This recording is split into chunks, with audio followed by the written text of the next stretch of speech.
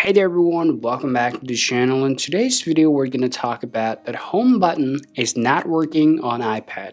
As you perhaps know how important your home button can be in order to use it in your day-to-day -day life.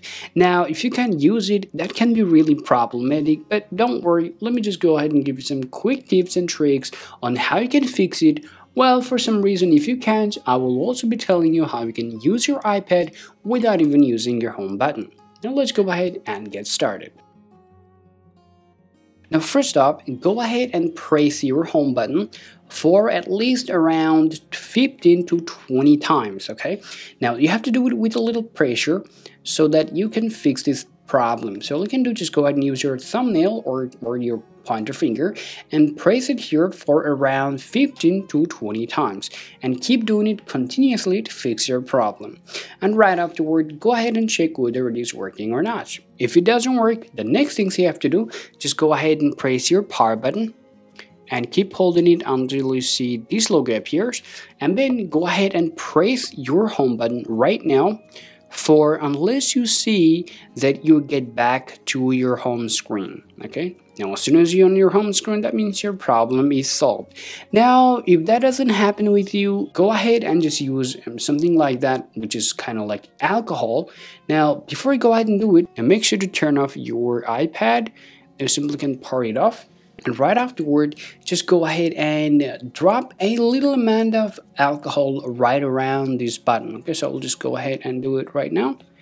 And once you've done that now just go ahead and now go ahead and just press it for a few times and then go ahead and clean it with your um, piece of cloth or the fiber cloth.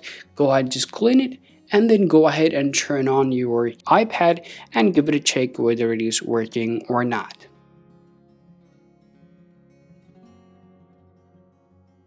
Okay guys, so if you tried all of the process but didn't work out, that means your iPad has some hardware related issues. In that regard, you gotta take your iPad to the Apple Care to fix that problem. But let me just tell you this right now, okay? So I'll show you right now how you can use your iPad without even using your home button, okay? So it's that simple, right? Now to do this process, go ahead and open up your settings, scroll down to your accessibility, and then scroll down here tap touch and simply tap assistive touch and toggle it on. Well, now let's say you want to get back to your home screen. How can you do it without even pressing your home button?